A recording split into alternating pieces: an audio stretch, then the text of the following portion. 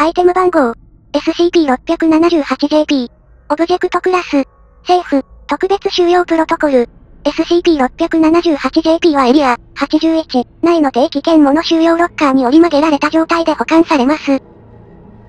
また SCP-678JP の半径1メートル半以内に集人装置を設置し、定期的にフィルターを交換してください。この際使用済みフィルターは焼却処分を施してください。説明。SCP-678JP は毛糸で構成されている約 150×110mm のコースターです。青、緑、白の3色の毛糸が用いられており、成分検査では一部より、削除済み、成分が検出されていますが99.8%は既存のアクリル系繊維のものと一致しています。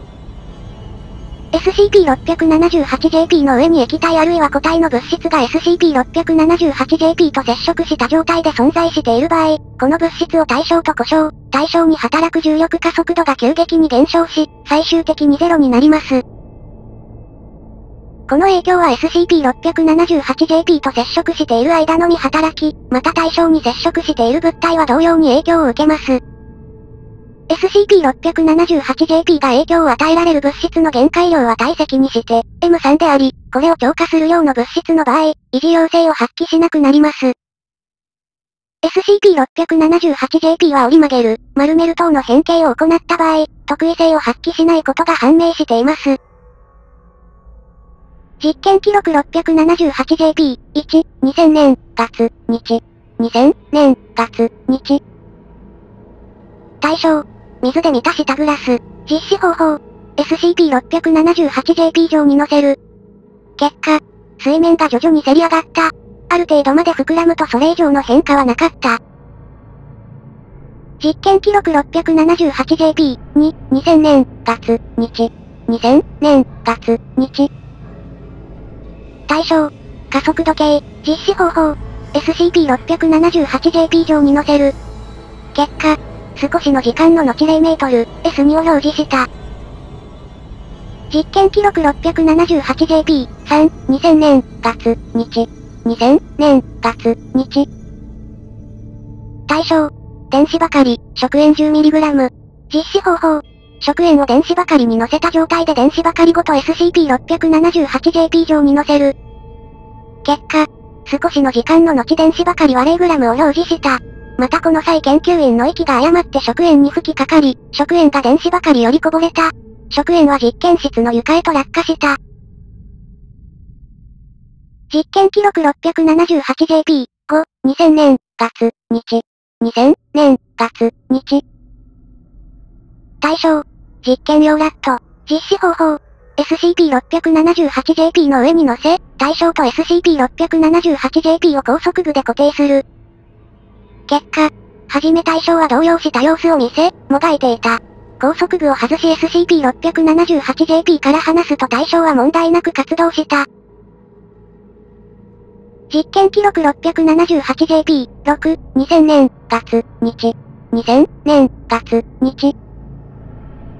対象、T、3835。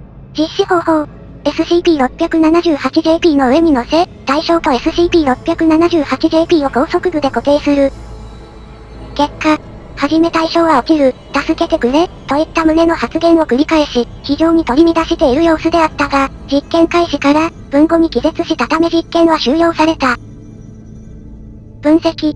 これはただ単に重力加速度がゼロになっているだけで落下は発生していないが、肉体がそう錯覚してしまったのだろう。今後の実験は十分に訓練を行った D クラス職員で行うこととする。木林博士。実験後の清掃の際に D クラス職員が誇りっぽいと報告しましたが、確認したところ何の異常もありませんでした。問題ないとは思いますが念のため追記しておきます。花街道研究員。実験記録 678JP、8、2000年、月、日。2000年、月、日。対象、T、3850。実施方法、SCP-678JP の上に乗せ、対象と SCP-678JP を高速部で固定する。吹き、T、3850はあらかじめ高所からの落下に耐えるための訓練を施されていました。結果、以下は実験の音声記録です。記録開始。D3850 が SCP-678JP に載せられる。D3850。うお。木林博士。どうした ?D3850。いや、ただ落下するような感覚がしたんだ。まるでここの床が幻で、無限の奈落に落っこちてしまったような感じだ。木林博士。今はどのような状態か ?D3850。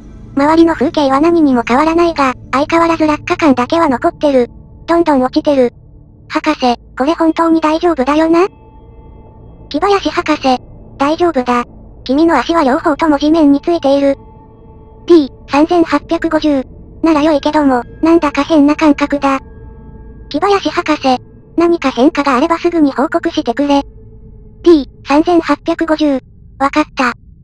以後約1時間、視界が知らんでいること以外対象からの目立った報告はなかった。木林博士、異常はないか。約、秒の沈黙、T3850。ああ、特に問題はない。木林博士。そうか、だが反応が遅いし妙に声がゆっくりだぞ。約、秒の沈黙、T3850。博士、もっとゆっくり喋ってくれないと聞こえない。木林博士。どうした？疲れているのか？約、秒の沈黙、T3850。いいや、特に。以後約、分間沈黙が続く。木林博士。大丈夫か？瞬きもせずによくじっとしていられるな。T3850、木林博士。おい。T3850、木林博士。気絶しているのか？一旦実験を終了する。記録終了。実験終了後 SCP-678JP より降ろされた対象はすぐさま活動を再開し、随分と早く実験が終わったと証言しています。分析。重力加速度がゼロになるだけであれば無重力感を感じるだけだが、対象は確かに落ちている感覚を訴えた。我々のまだ知らない特異性が存在するのかもしれない。また、長時間 SCP-678JP にさらされていると対象の生体活動が低下するらしい。これは反応の遅延、心拍数の低下、瞬き数の減少等から明らかである。人体の長期保存に有効かもしれない。さらに長時間の実験の必要があるだろう。木林博士。実験記録 678JP、10、2000年、月、日。2000年、月、日。対象、D、3860。実施方法。対象に肉体の状態を計測する機器を装着し、SCP-678JP の上に乗せ、対象と SCP-678JP を高速部で固定する。付記。対象はあらかじめ高所からの落下に耐えるための訓練を施されていた。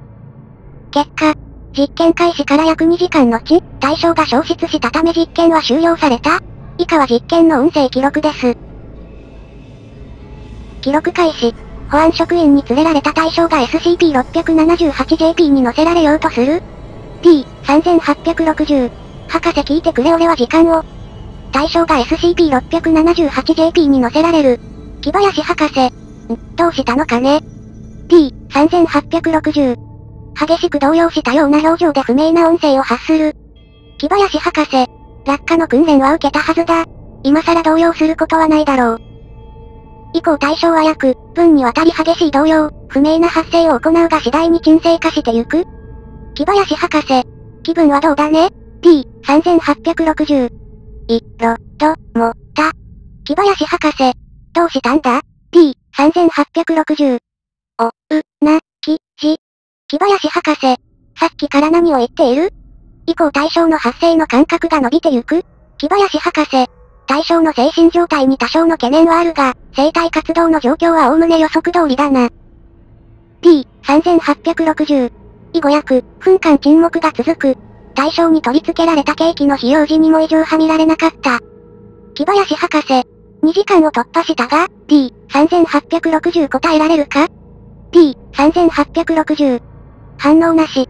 木林博士。うむ、まあ予想通りの反応だ。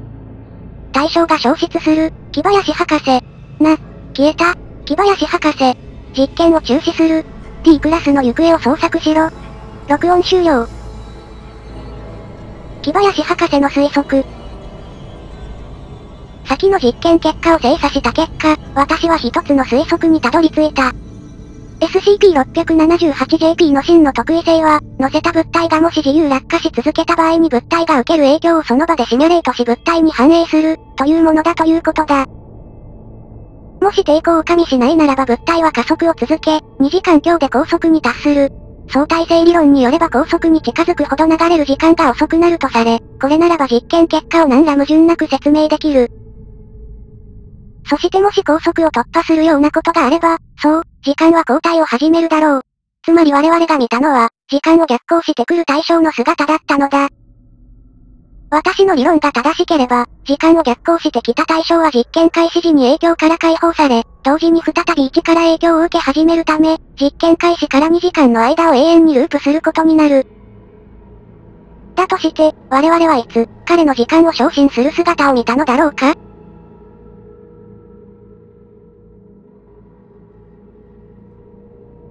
ほい。SCP-678JP 収容以降、サイト、81、勤務の職員からジャーキングが未有民時以外にも頻繁に発生するとの報告がなされました。調査の結果ジャーキングの発生数は SCP-678JP 収容時を起点として約4倍に増加していることが判明し、追加調査が行われました。結果、サイト内の空調設備より SCP-678JP 由来のものと思われる繊維が検出され、一部は、削除済み、を形成していました。これを受け、特別収容プロトコルが改定されました。